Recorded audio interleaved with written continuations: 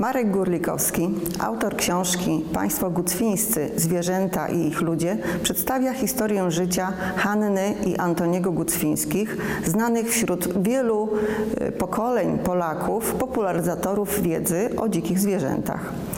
E, Hanna i Antoni Gucwińscy byli przez 50 lat związani z ogrodem zoologicznym we Wrocławiu, skąd e, odeszli w nieprzyjemnej atmosferze i wśród oskarżeń. Hanna i Antoni spotkali się w latach 50. właśnie w ogrodzie zoologicznym, kiedy podjęli swoją pierwszą pracę. I jak mówią, nie była to miłość od pierwszego wejrzenia, ale małżeństwo raczej z przyzwyczajenia. Natomiast na pewno połączyła ich wielka pasja do zwierząt. W tak zwanej willi dyrektorskiej, która znajdowała się na terenie ogrodu zoologicznego, wychowywali dziesiątki zwierząt, które e, nie miały opieki swoich matek albo były oddane im przez ludzi. Oni traktowali te zwierzęta jak swoje dzieci, których nie mieli.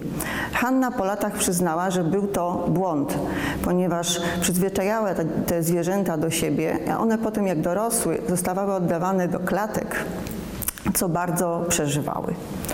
Mówiono, że Hanna Gucwińska miała zbyt osobisty stosunek do zwierząt.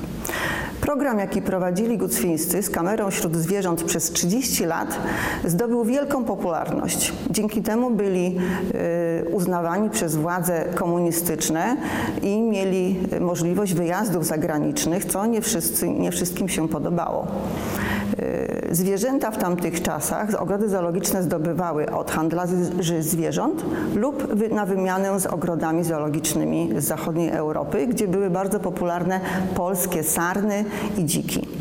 Gucwińscy mieli wiele znajomych dyrektorów ogrodów zoologicznych, między innymi przyjaźnili się z Józefem Wagnerem, dyrektorem jednego z czeskich ogrodów zoologicznych, który osobiście jeździł do Afryki, odławiał zwierzęta, które następnie przywoził do Europy. Zwierzęta te, okazuje się, były na wymianę za broń, którą Czechosłowacja sprzedawała państwom afrykańskim. W książce znajdziemy wiele historii o zwierzętach, niektóre zabawne, niektóre tragiczne.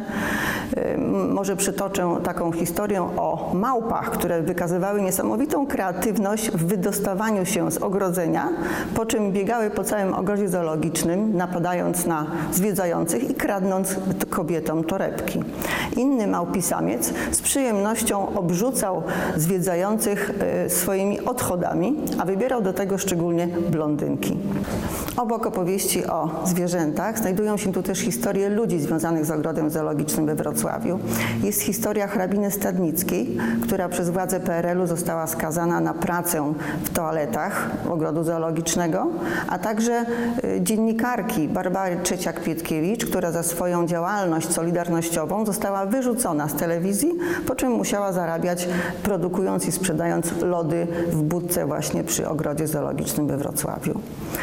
Autor pokazuje tutaj dużo informacji z życia Gucwińskich na zasadzie rozmów z bohaterami, ale także y, przytacza relacje od innych ludzi współpracujących z Gucwińskimi, a nawet ich przeciwników i oskarżających ich o właśnie znęcanie się nad zwierzętami.